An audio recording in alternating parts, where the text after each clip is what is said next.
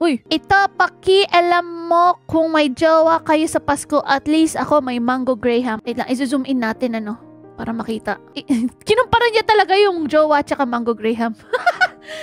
jowa, mango graham. Expensive, madaming request. Matatanga kapag nag-break kayo, dami mong magastos sa kanya, ulol. Affordable, di ka malulugi dahil madaling gawin at mura pa ingredients. Tama! Masarap! Wala kang jowa, paano mo masasabing masarap? masarap, syempre, 101 masarap. Yan, simut mo lahat yan. Totoo! Ang sakit, ng damay pa siya eh. Nagbibigay ng stress. Kapag inaway ka, ma-stress ka, bad sa skin yon. Stress-free! Isang kagat mo lang, mawawala na stress mo dahil sa sarap. Totoo! Walang time sa'yo, busy daw, tapos mababalitaan mo, nag-ML kasama boy slash girl best friend niya. Oo! Na, personal ba yan?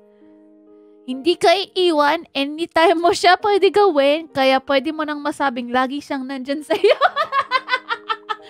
Conclusion, love life is temporary, Mango Graham is forever. Tama! Tama yan, tama! Palakpakan natin si, si Ray at napakagandang insight. At comparison ito sa jowa. Actually, ilagay ko nga to sa... Ilagay natin ito sa likod. Dahil uh, napaka-insightful. So, tingin ko kailangan natin ng poster nito. Ayan, lagyan natin sa likod dahil mukhang para daily reminders sa atin na mas importante ang Mango Graham kaysa sa jowa.